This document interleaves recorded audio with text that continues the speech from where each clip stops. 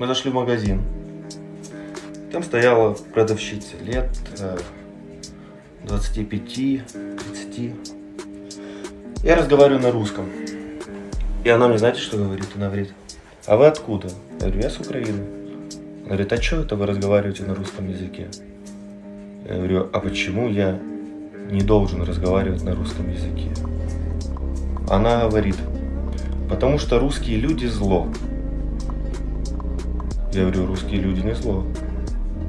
Я ей говорю, почему это вы так считаете, если есть много мирных граждан, которые не хотят войны, которые понимают, что Россия атакует Украину, почему вы их называете злом?